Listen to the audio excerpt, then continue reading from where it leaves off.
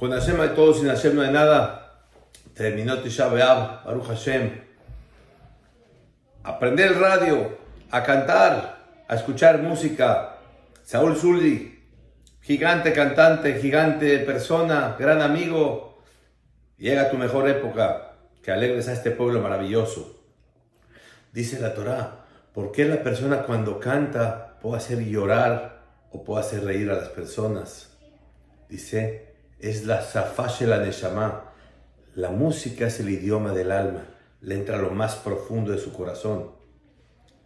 Y el Zohar dice, cantar atenúa la justicia divina.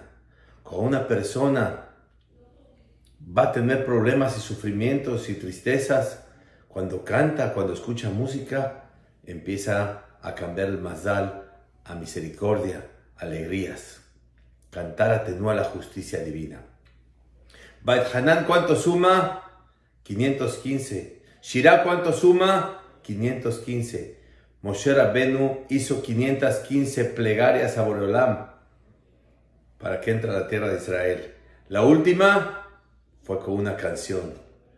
Y Hashem le dijo, ya no sigas cantando porque esto es lo que tiene más poder de todo. Párale, no me sigas cantando tiene una fuerza tremenda. Y he sabido que cuando estaba deprimido Shaul Amelech, ¿qué hacía?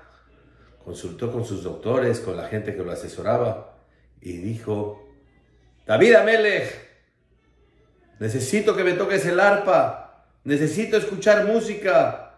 Con eso me relajo y me siento tranquilo y feliz.